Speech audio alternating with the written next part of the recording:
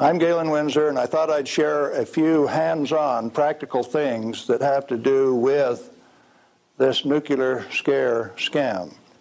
Now, you've heard that gamma energy, the kind of energy that comes off a rock like this, is the most penetrating, most damaging of all radiation.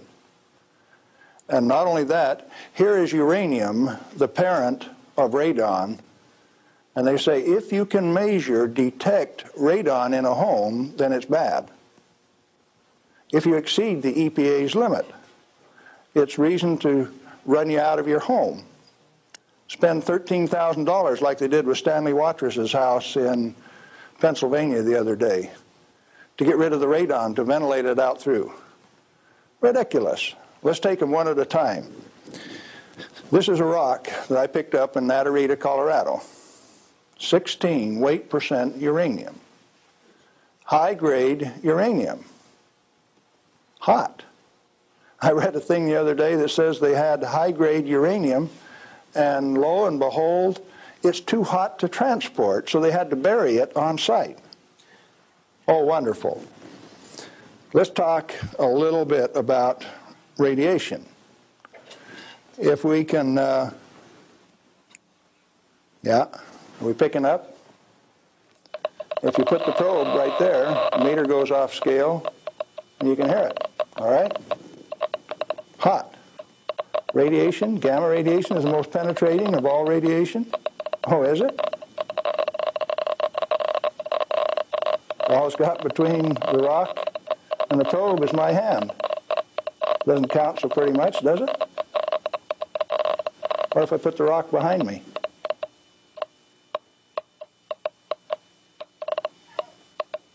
You don't suppose they've been lying to you, do you? I suspect they have. Well, let's do a little bit more. I got a black bottle. Good stuff comes in white bottle. A bottle of NoDoz. You can send children down to the drugstore to buy NoDoz. All they need is money.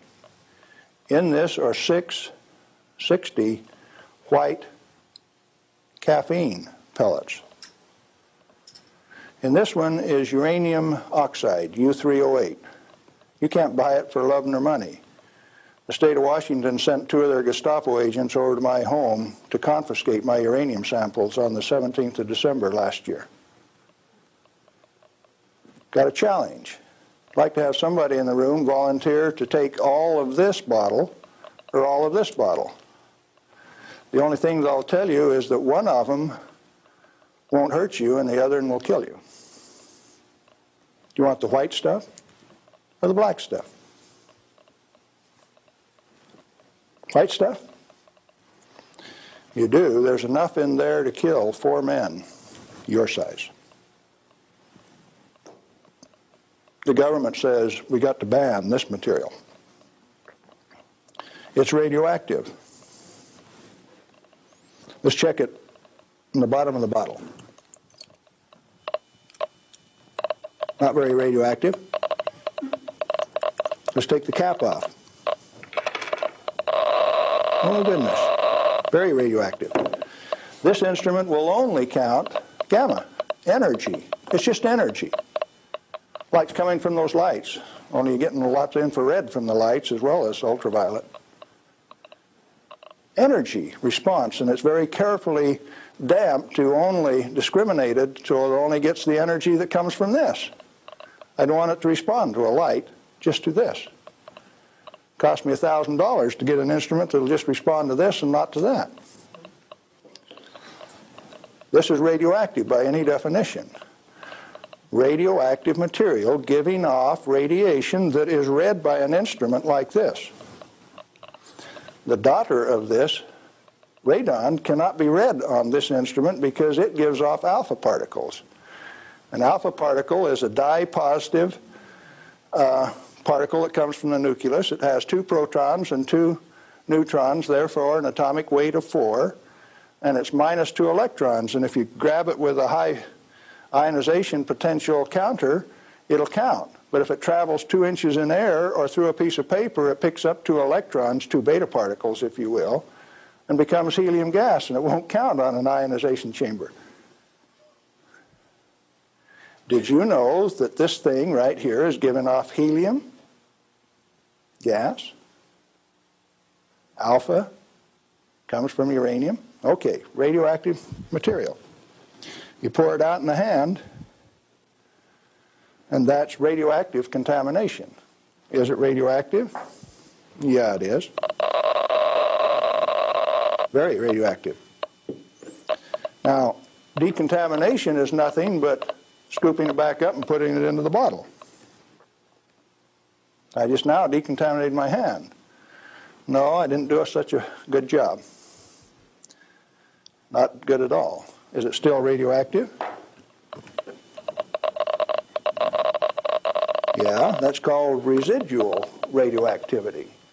Now, under the decontamination rules of the government, when you decontaminate somebody like this that's that contaminated, and this is certainly a reportable incident under current DOE regulations, when you decontaminate him, it has to go down a controlled drain so that you don't disperse radioactivity.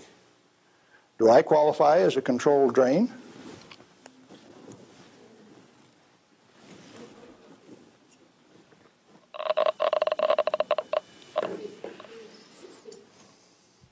That material that I just ate is uh, not soluble in body fluids. Like it's been this. It's uh, it was fired originally at 940 degrees C, where it becomes U3O8, known in the industry as HCl insoluble. In other words, it will not dissolve in concentrated hydrochloric acid, hot.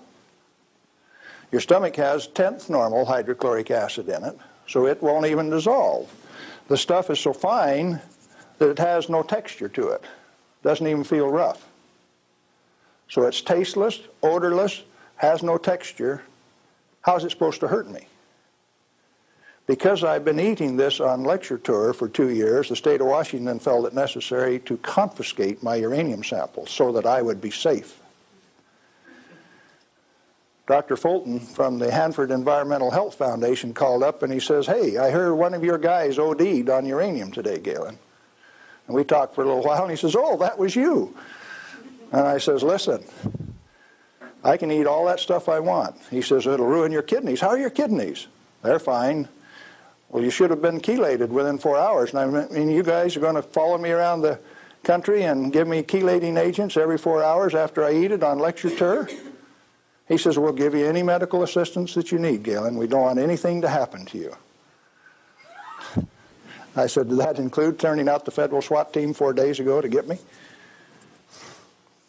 Where are these guys coming from?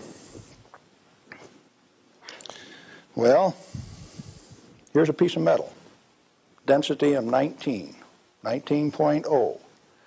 If you know your chemistry and physics, you know that there are only two metals that have that density plutonium and uranium. Radioactive pyrophoric density of 19.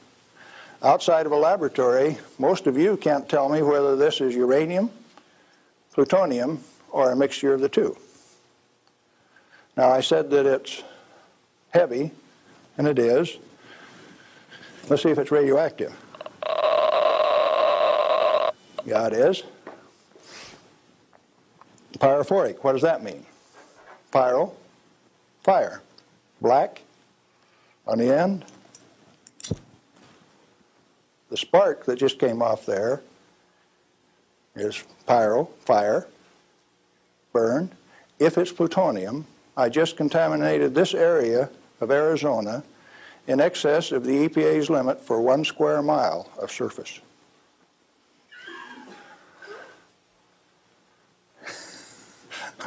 Somebody laughed. It's serious. The end of progress altogether says that I just contaminated you in excess of the limit for one square mile. It's now silver on the end. Tomorrow it'll be black because it self-oxidizes, this, this black color, like this, all by itself. Plutonium does that and uranium does that. Is it hazardous? Yeah, it is, because they take depleted uranium metal and make it into 50 caliber bullets, fire them from shoulder-held weapons. In 1976, they obsoleted tank warfare with these things because it only takes one dog face with one weapon to knock out a 65-ton tank. It'll go through three inches of armor plate, and when it comes out the other side, it's that white hot spark that we just made. And the five men in that tank are dead because it'll burn all of the oxygen out of the air and burn their flesh. 1976, they obsoleted tank warfare, and you never even knew that.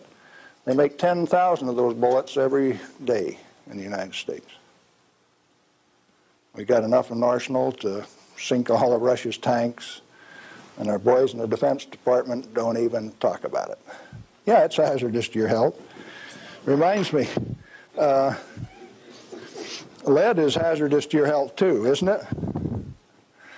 Uh, particularly if it's in a 45 slug like this and it hits you right here going about 2,600 feet per second.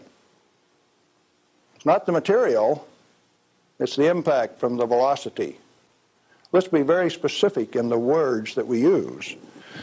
This particular chunk of lead came out of a human body. My son, who's a deputy sheriff, thought maybe I could use it on tour. That's called dying of lead poisoning. Anything less is a figment of the imagination because it's not soluble in body fluid either.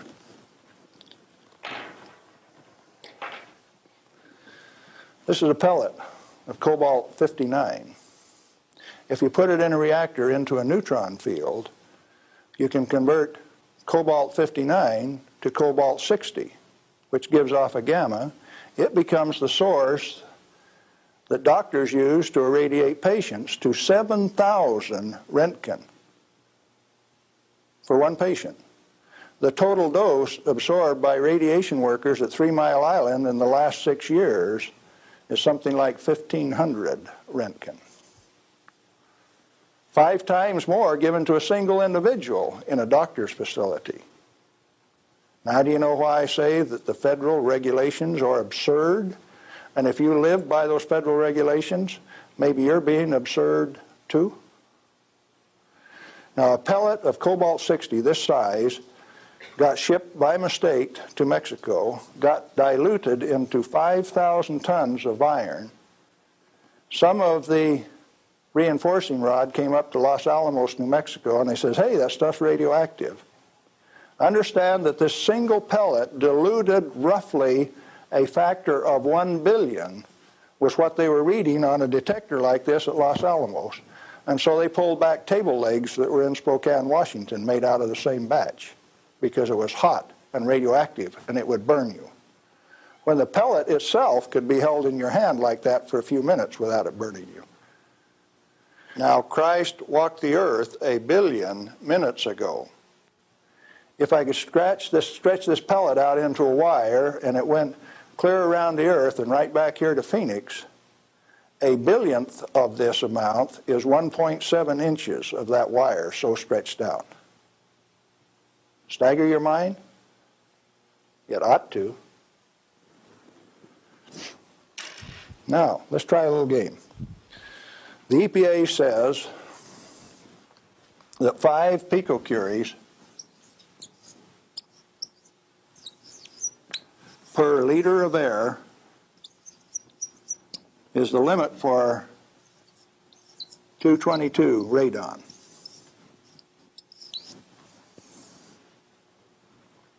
And they handle that like it's a real number. Madame Curie says that one gram, one gram of radium equals one Curie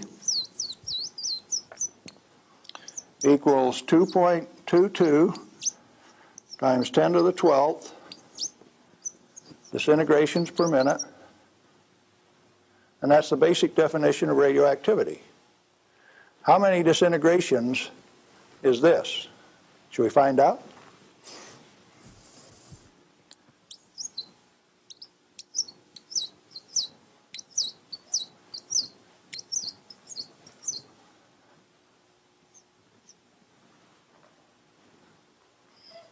And the EPA, in its wisdom, says that 11 disintegrations per minute from one liter of air, you have exceeded the limit.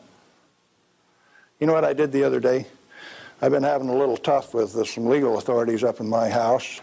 So I took one of these bottles of uranium like this, and I dissolved it in an Erlenmeyer flask with nitric acid. And I got a crack in the basement floor, and I squirted that whole bottle into that crack on the basement floor in acid solution so that it'll drive that counter off third scale any place along a 10-foot section of that crack that I put. When they bring the radon measurement in there, can you know what the radon's going to do? It's going to go off scale in their measurement. It won't go that high. If Watras's house with 17 times this limit in it was caused to spend $13,000 and give it national TV coverage, press coverage, think what Galen Winsor's house is like. I went to the trouble to notify my congressman about it.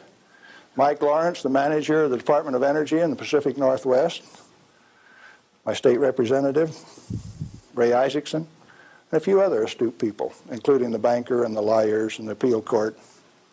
What are they going to do with that? I set them up on that last Thursday and I come down to Phoenix, so I escaped the falderall. What I'm saying you is that the federal regulations are absurd. The congressman that put them into place ought to be fired. They ought to be sent home. The regulators, what do you do with them? Quit paying them. The taxpayer, the electorate, elects those people to go out and do a job. Why do you continue to pay them when they're teaching you baloney? When they're putting in regulations that don't make any sense? Cut it out. Quit paying them, fire them, send them home. term I grew up with says can them. Is it easy? Apparently not. You haven't got the job done. Majority of the Congress is irresponsible, amoral, atheistic, irresponsible. Let's see, how many more adjectives can I drum up? But that many. Let me tell you. We as the people sent a bunch of rascals out to the energy store with a signed blank check. And we say, hey fellows, if you run out of money, just go build us a good power plant. If you run out of money, come back and we'll give you another signed blank check and guarantee the payment out of the ratepayer's pocket. Tennessee Valley Authority has the most nuclear reactors of any outfit in the place. Not one of them has produced any power since last August. Browns Ferry 1, 2, and 3 in Mississippi hasn't produced any power since last March. And they don't plan on producing any power at Browns Ferry until mid-year in 86. At a million dollars a day in lost power revenue per plant and held off in the name of health and safety? Now tell me we didn't send rascals out to the energy marketplace with a signed blank check. They're still getting paid. Those reactors are all fully fueled, fully staffed, and just sitting there. Who's getting taken? The ratepayer. You're still paying more and more for your electricity all of the time. Now, Bonneville Power Administration says that 57% uh, availability is okay for a nuclear reactor. Maine Yankee is often run at 103% availability, which means it's running over nameplate rating. Enough days out of the year that its average availability is 100%. Bonneville Power Administration of the Department of Energy says that 57% availability is okay. That means that you can let those things set down 43% of the year, and that's judged as an acceptable performance on the part of the government. There's an obvious answer get the government out of the energy regulating business. Turn those plants over to people who will run them efficiently 100% of the time. When we put in zero release containment, we started playing games. About the time that we proved that a nuclear reactor has no measurable impact upon the environment, that's when they bottled them up, put catalytic recombiners on them. Some of the reactors in Texas were designed not to breathe for eight years at great expense. Why? When you bottle up a reactor like TMI-2 does, then you get radiolytic hydrogen, and indeed they had a radiolytic hydrogen burn at TMI-2. And they moan and they groan about that, and all they had to do was open up the windows and let the breezes blow through. You don't need containment on them. Going up to Colorado this weekend to meet with the Uranium Producers Association. And they're upset because the government is dumping uranium on the market and raising the price of the commodity that they get their bread and butter from. But what they're totally unaware of is that the Grand Junction Operation Office is going to issue a contract so that the new operator has a $25 million budget over the next five years, 80% of which will be spent for remedial action, where you take this material dig it up. If you find it, it counts on a Geiger counter, you can have them come in and change out the whole front yard of your house, give you a new front yard, new foundation under your house at government expense. If you don't do it, they'll take you down to the courthouse, blacklist your property, so that you have to remove the radioactivity at your own expense before it can be sold. Now, do you know what I did when I took that uranium solution and poured it into the crack in my house? I set up the United States government and that episode is about to be played. Did I do it on purpose? Yeah, I did, just like I used to dive into that swimming pool and drink that cesium contaminated water. I found out that it doesn't hurt me. You need to find out that it doesn't hurt me or you. In fact, the only reason for the existence of these big transcontinent distribution lines would be if they could compete with a small mass-produced reactor sitting in your backyard. Why don't they want you to? Because they are the federal energy cartel. They like to set the price, the total availability, and whether you can hook onto it, and if you don't pay your bill, cut you off. That's called power, domain, and control. And they like that. They do not want you to be energy independent. If you had one of these setting in every 10 block area in Phoenix, you could tell the rest of the world to go get lost. Oh, there's another use for that heat. You could heat your homes in the wintertime, or you could cool them in the summertime with it. Heating, ventilation, air conditioning, they call it, HVAC. In countries where it freezes, you could run that hot water out and chase the frost away in the spring and in the fall. And they found out that plants grow faster in warm water anyway. So you'd irrigate with it all summer. So cooling towers are called wasting towers. They throw over 50% of the heat away. The other morning coming out of Tri-Cities, WNP2 was putting its 700 megawatt electric up through the clouds, 870. They were running that. And the clouds were laying all over the ground, and there was a little ice cream cone right out there, and I said, there's WNP2. It snows five inches every night out of WNP2, and the rest of us don't get any. Where'd the water come from? That's cooling the heat from the condenser cooler. You should have a business right out there, an oil cracking plant, something, taking that heat and using it, like they built at Midland, Michigan, 10 years ago and they've never used. And so Dow Chemical is suing the utility because they never produced the steam for their chemical plant right alongside it. We got troubles in this country. I'm telling you what the problem is. The doing something about it, responsibility is yours.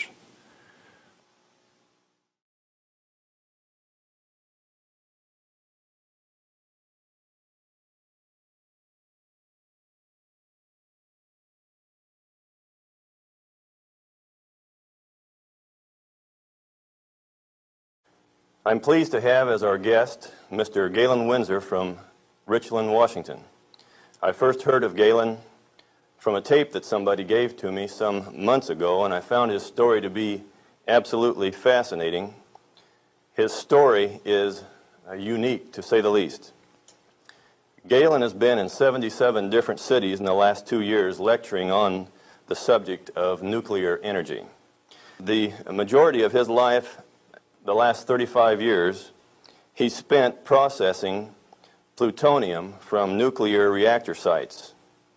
He has worked in the Manhattan Project facilities in Hanford, Washington, Oak Ridge National Laboratories and Nuclear Plant in Oak Ridge, Tennessee, General Electric's Midwest Fuel Recovery Plant in Morris, Illinois, General Electric's Fuel Fabrication Facility in San Jose, California, and Wilmington, North Carolina. And he's worked in every major reactor decommissioning project around this nation up to this present time. His major work in these projects has been the analytical process inventory control, which means that he was responsible for measuring and controlling the nuclear fuel inventory for these projects. Galen Winsor has few peers in the world in this area of expertise. And those few peers, admittedly, know and agree with the things that you'll be hearing on this tape. However, except for two or three of these experts, They've all chosen to remain silent for reasons which they only know, leaving this man then the burden of leading this lonely battle of exposing what we call the nuclear scare scam. He's without question one of the world's foremost authorities in nuclear radiation measurement. And he's recognized by members of the Atomic Energy Commissions of all the major nations of the free world. Mr. Galen Winsor.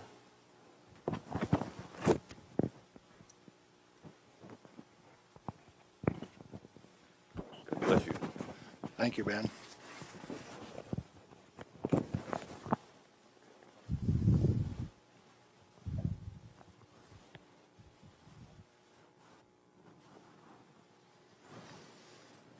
We've been considering today how best to approach this subject so that you would feel comfortable with where I am. And we thought it might be appropriate to start with how I got involved in this game. Now, in 1945, I was a Navy radioman out in the Pacific on a destroyer aimed for Japan. We had a one way ticket. That's all you get, just one way. So, as we uh, were becoming proficient at our business of fighting war, the Manhattan Project caught up with us and did a job. Now, the weapon that was dropped on Hiroshima, Japan in August 6, 1945, was a U 235, fully enriched U 235 weapon, where the material was separated and purified in Oak Ridge, Tennessee. The one that was dropped August 9th on Nagasaki was a plutonium weapon made at Hanford. But to those of us out in the Pacific, it was quite interesting it had a ticket on it that says, you get to go home. I was impressed. Now, I was stuck out on Guam after the hostilities quit and was running a radio broadcast that communicated with 4,500 ships west of Pearl Harbor. Quite a few to listen to every dot and dash that I made. So I was, I was used to having people listen to me. They couldn't see me because they could sure hear me. I had all of the good messages that were to come to them fleet movements to Red Cross messages. They came along one day and says, we'd like to have radiomen to go down to Eniwetok for the atomic bomb tests. Not me. no way. I want to go home. So they went through and they took every third radio man to go to Eniwetok. I didn't go. They let me come home. But I wanted to go home. I had a driving need within me that says, hey, that big firecracker, I want to know how it works. I want to know everything about how it works. So, back to the ranch in Nevada where I grew up and stacked hay all summer, gained back the 40 pounds that I'd lost out there in the islands. into Brigham Young University the fall of 46 in chemistry classes. Dr. Joseph Nichols could make an old farm kid like me love chemistry. I hadn't had any chemistry in high school, but the way Joe Nichols taught it, I wanted to know. So chemistry it was. And some neat guys like Carl Eyring taught me physics. And long in 47, I ran across a cute blonde from Richland, Washington. Now, this girl had been telephone operator for General Leslie Groves and Dr. Enrico Fermi on the Manhattan Project. She got to put through the calls to Franklin Delano Roosevelt for these guys. So she talked personally to FDR. And she told me some of the stories like you've never heard. She says, Oh, in those canyons, great things are done. This cowboy from Nevada couldn't even imagine what she was talking about. Well, in 1947, after we were married, see, I ran until she caught me. I wasn't going to get married anyway. I wanted to get my education. I had to get on with this thing. And so we went to Richland, Washington for the first time in September 1947. I saw that those buildings she was talking about were there. 1,000 feet long, 11 stories high, five of them below ground. Uh, tremendous things. And people all over. Camp Hanford in those days was a whole army camp just there to secure that place, to provide security. Thousands of soldiers. You move around out in the desert and hop out of a foxhole and pop a soldier with a gun in his hand. There wasn't any horsing around, it was all business. Back to school. In 1950, I applied for a job up there before I had graduated, and they were so, in such bad need of chemists, I had a job before I had my degree. And so the last year of my chemistry, mostly English, I did on a bus riding 25 miles to work in the morning and 25 miles back at night. And I did advanced grammar and business writing and all of those things on that bus. But in September 1950, I got into this thing called plutonium processing when we did it barehanded, without instruments, without coveralls. We had some of the most peculiar acid burns in some of the shirts. And I found one of those the other day. It's got acid burns all up the front of it. Plutonium on it, too. Amazing. That was normal operation in those days. We ran those facilities and we ran them so well that by 1965 we had separated enough plutonium when it only existed in the parent uranium matrix to a half of a single weight percent, 0.005 weight fraction of plutonium, maximum, in that fuel. And we processed enough tons of uranium to recover enough plutonium by 1965 to meet the weapons needs of this country 10 times over for the foreseeable future. Now we're talking about a massive amount of work. Hands on, do it type thing. And there was a couple thousand of us, and we were just as happy as could be, just working like mad, making those plants run 24 hours a day, seven days a week, in a community that ran on shift work, A, B, C, D shift. The whole community that way. A wartime community, people dedicated to doing a job, and we were doing it, and we did it well. No pretense. Oh, yes, there were out in the reactor began to sneak in people who wanted a radiation monitor behind every reactor operator. Why? We know how to make these things run. When we got a metal fuel element stuck and it fell down on the trampoline back of the reactor, we'd go in with our feet and kick it off into the pool, smoking, burning. If you didn't have an instrument, you didn't know it was too hot, so you just went in and kicked it. Finally, along came a rule maker that says, Thou shalt not do that. You'll get burned. Oh? I didn't get burned when I did it last week. But you exceeded the limit. Well, where did this limit come from? Turns out that in 1934, the International Commission on Radiation Protection fabricated a limit for x-rays. It was no longer permissible to be burned by them, erythema, reddening of the skin. You now had to keep a limit called two tenths of an hour per day. How much is that? Well, you've got to have one of these Beckman instruments to read it, and you have to keep time of exposure. You know, there are four requirements on this thing the size of the source, the therefore the strength of the source, the distance from the source, the time of exposure, and the intervening shielding to keep from getting burned.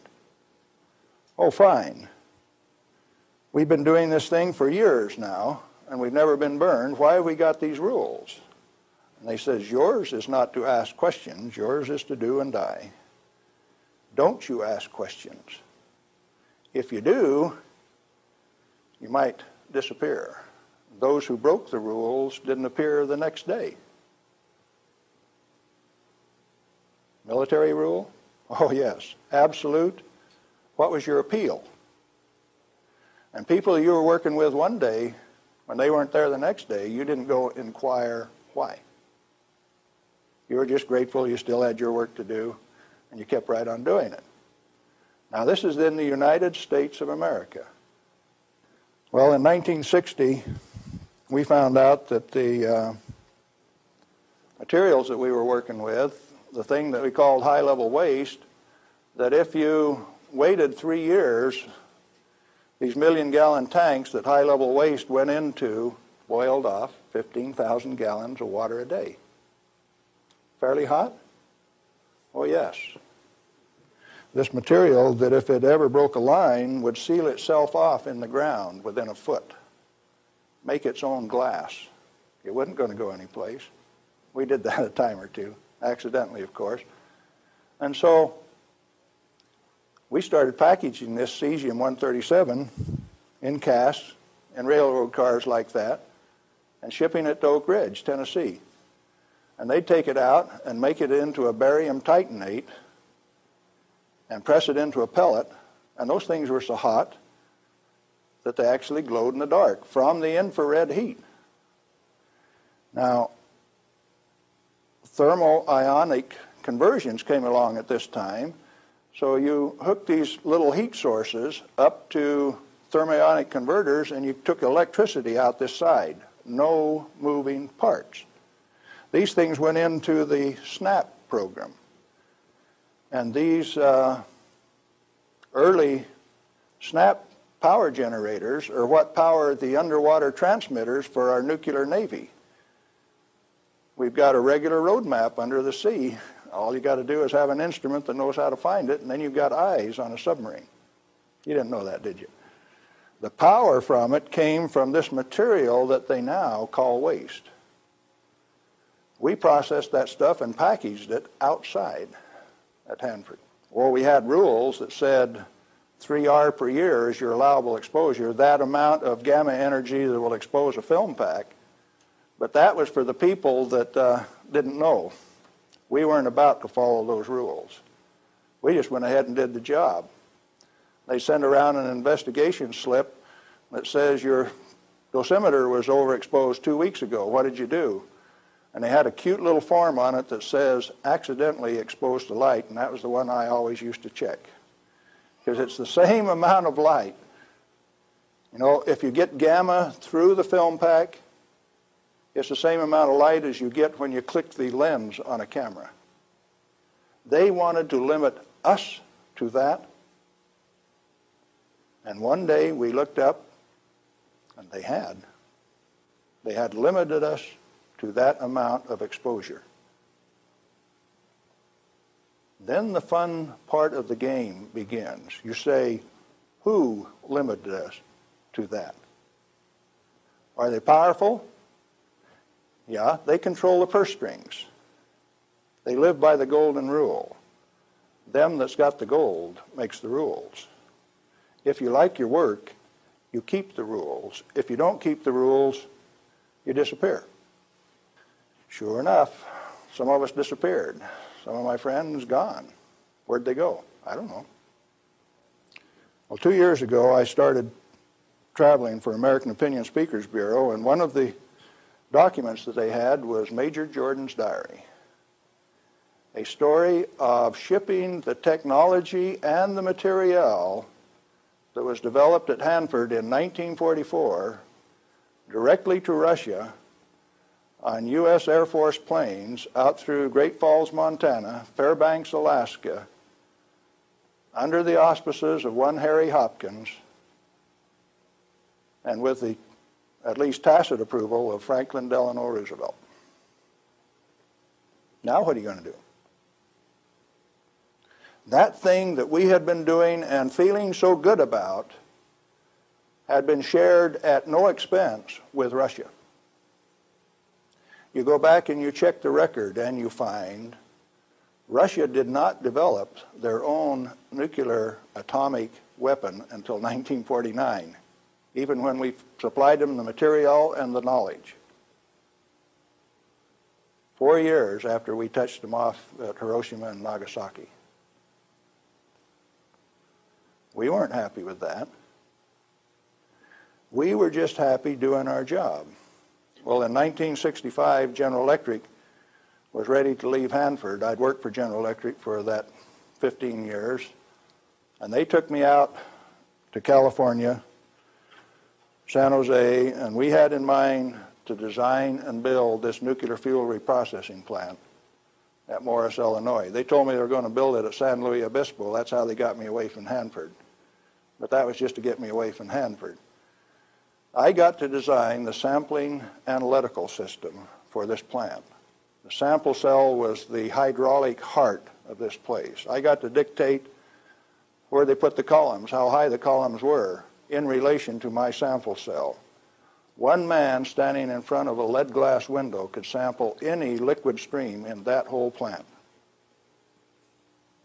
It took crews of men at Hanford to do the same thing. I wasn't happy with that, so I built an efficient system. I got to design that. I got to build it.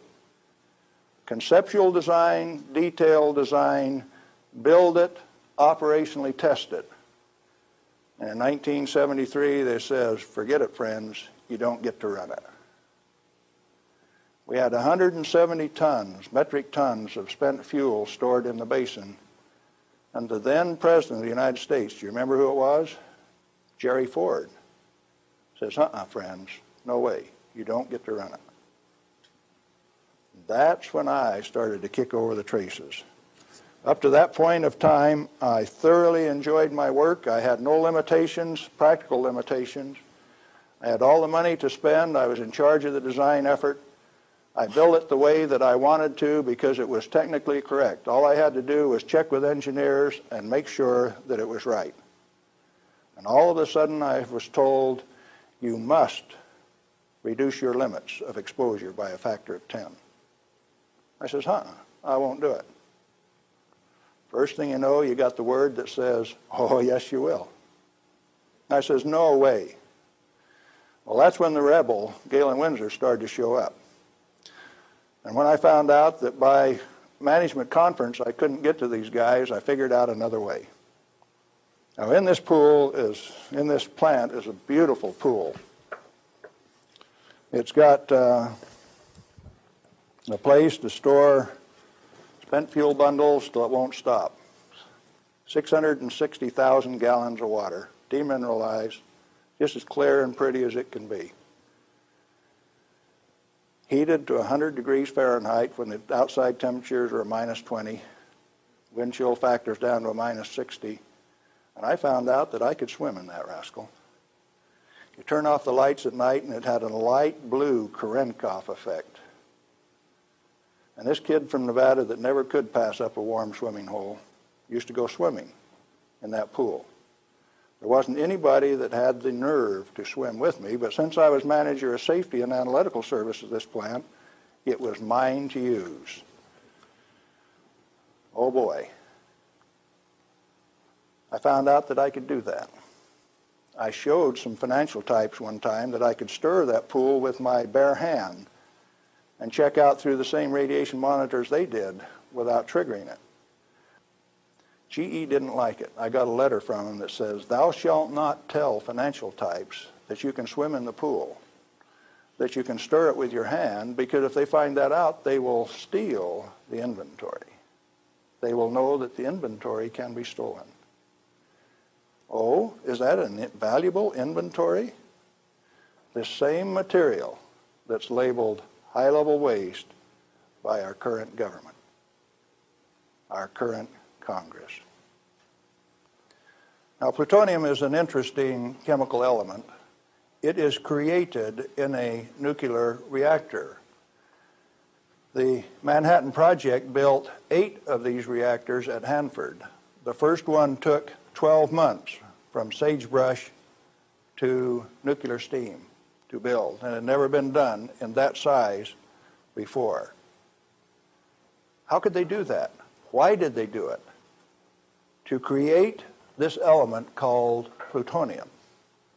Plutonium has been assessed as being the most hazardous material on Earth. Now, from the standpoint that you can make an atomic weapon out of it, yes, it is quite hazardous because a piece of it that big, two and a half kilograms, that's only five pounds, is the force that delivered 20,000 tons of TNT equivalent over Nagasaki. Indeed, it is hazardous. The one over Hiroshima that had fully enriched U-235 in it was five times as big. So plutonium is more dangerous than U-235, is it not? By a factor of five. It takes five times as much U-235 as it does plutonium. Therefore, it is the most hazardous thing. Enter the great pretenders. They said that five grams of plutonium, properly distributed over the face of the earth, would kill everybody on earth. Now, if you can only get one 20 kiloton weapon to go on 2,500 grams, how's five grams going to kill everybody on Earth? Early on, I had a fear that said, if there is this much fissile material, that that can undergo a chain reaction, we called it in the beginning, then if you set a match to it, all the fissile material in the world is just going to keep right on going. Totally unfounded fear. It turns out that when you're in this business of recovering plutonium, like we recovered so much of it at Hanford, we found out that if you have it in a solution where it's less than 5% plutonium, it won't go critical any way that you kick it. And when you get it to 100% plutonium, you better be careful. Because if you put it in more than a 5 inch diameter cylinder, you're playing with fire. You can undergo what is known as an uncontrolled criticality, accidental criticality. The air turns blue. If the, if the cylinder is sealed, it will explode from steam pressure. And that steam pressure builds up in a millisecond, which is about that long. Oh, you don't horse with it. And then you find out that those eight foot thick shielding walls on those canyons were put there because they didn't know how much was a critical mass. They says if we make a mistake, we don't want to die, so we will provide the shielding. And so this shielding thing started for no other reason than they didn't know what was a critical mass. Well, through the years, we got pretty good at telling what a critical mass was. And I have worked in a plant where I had half a critical mass in this hand barehanded, dressed in street clothes, half in this hand, wearing a lab coat, and I'd put this half in a pocket on this side and this half in a pocket on this side and walk down the hall. If those two ever got together, there would be a blue flash. They never got together because I was in between them. And we do that every day. And each half had to meet definite dimension characteristics. And so we'd take them down and pass them one half at a time, and they'd measure it and say, yeah, that one will pass. And then we'd pass them the other half, and that one will pass too. But they were carefully put in separate bird cages so they couldn't get together accidentally. Well, those of us who worked with it enjoyed it. We knew what we were doing. We worked at it. When the President of the United States decided not to operate that fuel reprocessing plant, I started scrambling to find out what was going on. Many things had been done in the name of health and safety. Don't get burned. You got to have safety record. You have to be safer than anybody else. We were already safer than anybody in the whole world. Well, you can't get afford to get burned with this. You've got to enforce the limits. You've got to keep it. And I says, hey, that's not what the ball game is at all. I'll bet you the ball game is something else. And in 1982, when the Congress passed the Nuclear Waste Policy Act of 1982, a guy by the name of Mo Udall, I don't know whether you people in Arizona have ever heard of him or not, authored that bill. It's called the High Level Waste Disposal Act of 1982. The material he called waste is the reusable uranium fuel that I had been working on for 32 years. Needless to say, Mo Udall and I do not agree on whether that material is waste or not. The name of the game then is who owns the plutonium and how much is it worth? The government says bury it 3,000 feet deep in basalt, and we'll hold a contest among the states to see who gets to bury it. Oh? Why do you want to bury it? Did you ask the owners?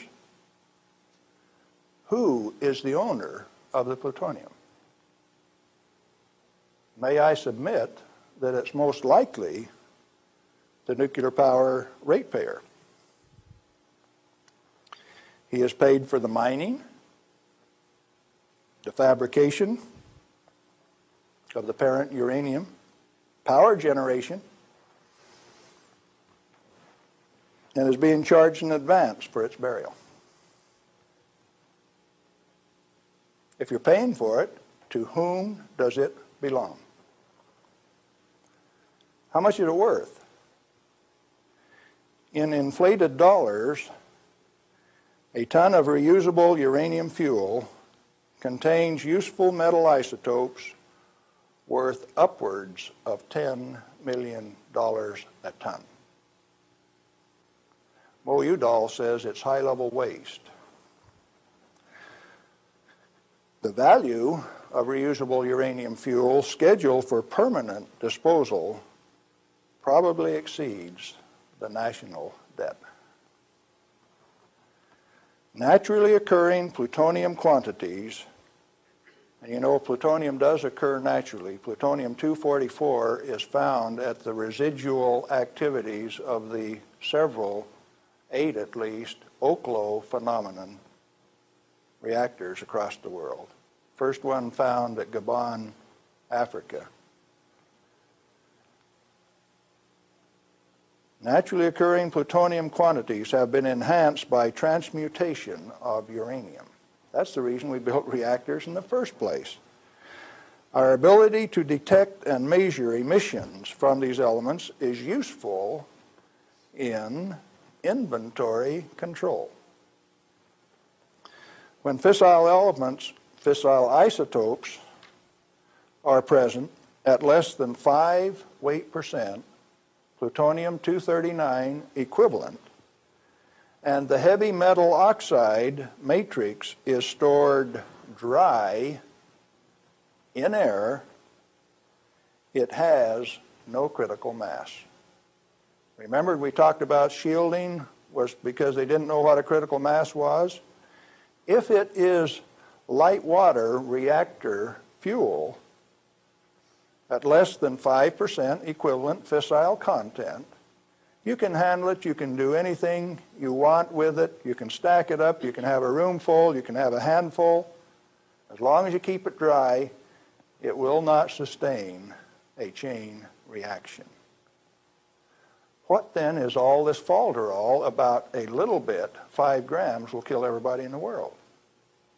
Uh-uh. They don't know what they're talking about. And when they say that, they're thumbing their nose at measurement experts like Galen Winsor. I am insulted when they say those things and get away with it because it has no bearing on the truth.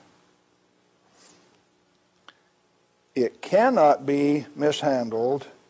It will not expose any person to an unshielded nuclear reaction.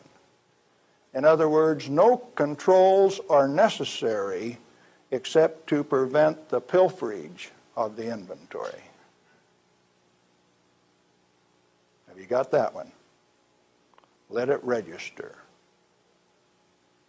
Do you need governmental rules and regulations and instructions? No way. Then why do we have all of those rules?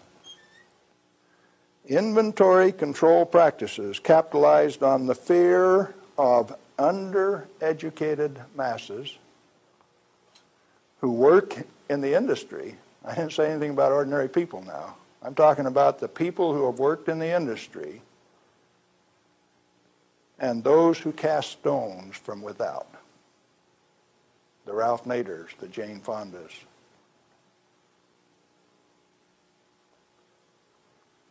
Now, it doesn't take you much thinking to find out that maybe the industry is the source of the problem. The industry is the one that made up the committees that made the rules that the Congress enforced. You ever thought of it that way? The strangest kind of feather bedding that's ever been dreamed up, it makes the railroad engineers look like pikers. The only amounts of fissile process materials that are of health concern to the handlers are those that can accidentally cause an unshielded nuclear chain reaction, or that will cause erythema from the shortest wavelength, highest frequency, and therefore the most easily shielded ultraviolet light emissions of the electromagnetic spectrum. Big words. Let's see what they mean. The emissions from uranium, plutonium, cesium, all of those things are only important if you assemble an amount that if you get this amount and this amount together, it can go critical. You can get a blue flash and therefore get burned. And that's happened 34 times in the in business, and eight men have died as a result of that. Accidental criticality documented in Los Alamos document 3611 if you want to check the source. Or if you've got enough of it together that it's giving off ultraviolet light of this particular wavelength and frequency without any intervening shielding, enough to burn you, sunburn you, erythema, reddening of the skin. If it's less than that, if the effect is less than that, then what is the problem? Excessive government regulation. That's what's the problem. Tritium. Heavy, heavy water. Deuterium is hydrogen 2. Tritium is hydrogen 3. If you let an inventory get away from you, what's going to happen to it out in the biosphere? Nothing other than it will become diluted and join the naturally occurring inventory of tritium because tritium is created in the upper atmosphere by sunlight. We have a natural inventory of tritium. Then the only thing that happens when you lo- release tritium, which is the trigger mechanism for bombs, it's the source of the push that makes it go, is that you lost a valuable inventory. Then what of these people that are pretending that a little bit of tritium is going to do you in? It is not so. What are those two points? Only if it is an economically recoverable concentration or if it has a natural reconcentration mechanism. You know, there isn't any one of the radioisotopes out there that has a meaningful level of reconcentration in any of the species, not even the oysters in the bays in Maryland below Calvert Cliffs. Hmm. Why then are we still playing this game that any amount of this material is of hazard? Reusable uranium fuel, which has been isotopically enhanced in power producing reactors, is a valuable national resource, not a high level waste.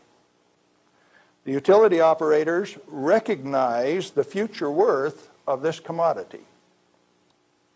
Mo Udall, in that Nuclear Waste Policy Act of 1982 imposed a tribute of a mill per kilowatt hour, a dollar per megawatt hour on all electricity produced in a nuclear plant so that they can research and develop methods to throw it away.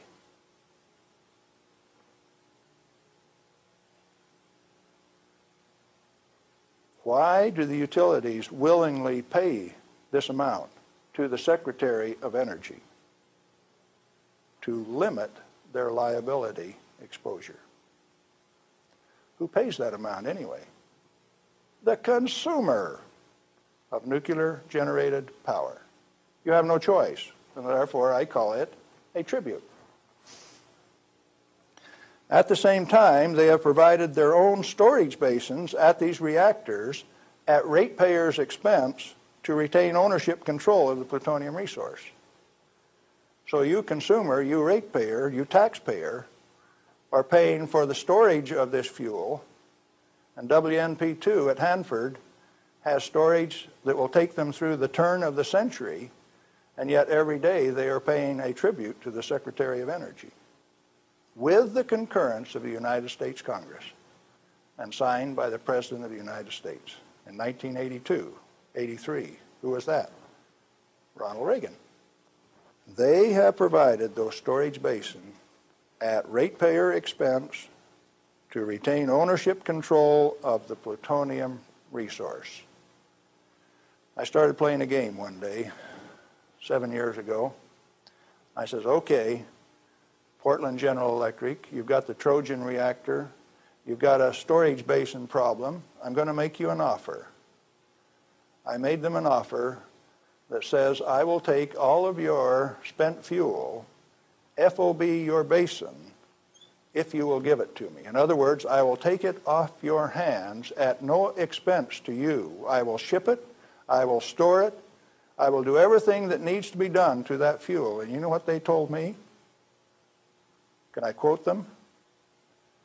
Go to hell, Galen Winsor. We value it more valuable than platinum or gold. We're going to play the plutonium futures ourselves. Now, where did I learn that the name of the game is who owns the plutonium and how much is it worth? The first plutonium I saw was in a glass tube on the newsreel when I got back from the Pacific in 1946. And that that they had in a glass test tube, they said was worth a half a million dollars. Certainly they had less than five grams of plutonium in that tube. That's pretty expensive stuff. And so for the show, they put a pot underneath it in case they dropped it. They said, we don't want to have to pick it up out of the rug.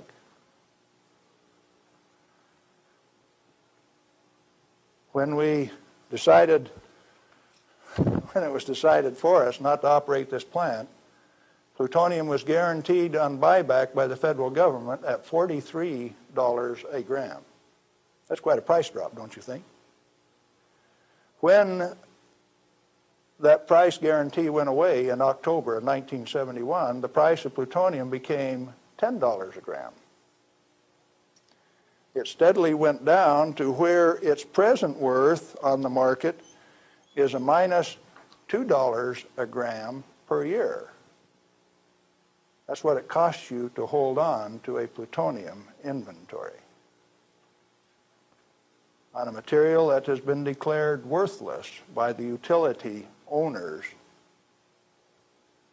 and rubber stamped by the Congress of the United States, and they're spending billions of dollars digging hole in ordinary rock so that they can throw it away, dispose of it. Okay, what are you going to do with it? Reusable uranium fuel may be properly stored in air-cooled, dry storage in a cost-effective manner. NUKEM in Germany offers this immediate and long-term option as a necessary and safe step prior to reprocessing. They're doing it in Europe. At least four regionally located facilities are available in the United States where this concept can be used right now. Barnwell Nuclear Fuel Plant in South Carolina, Midwest Fuel Recovery Plant in Morris, Illinois, this one, Nuclear Fuel Services in upstate New York, and Redox Processing Plant at Hanford, Washington. These fully shielded, already radioactively contaminated storage areas have secure, limited access. All have been operated under processing conditions of 10 CFR 50, and the MFRP has a 10 CFR 70 storage license, the only licensed storage facility away from a reactor in the United States. It singly, all by itself, is capable of storing all of the reusable uranium fuel that needs to be moved away from power reactors for the remainder of this century. We had that storage designed in 1975. Had the approval of the design. Why then are you spending money over here in New Mexico on the waste isolation project why are you spending money at Hanford at the basalt waste isolation project? Why are you spending money at Beatty, Nevada for storage when I can already store it in this building that's already built? I just named you three others that can do the job all by themselves too. And I know where there's 14 more buildings that can do it. What are we going to do? Redox and other excess facilities at Hanford are capable of dry storing all commercial RUF until plutonium recycle, at least through 5% enrichment, is reestablished, or until the 22nd century, whichever comes first.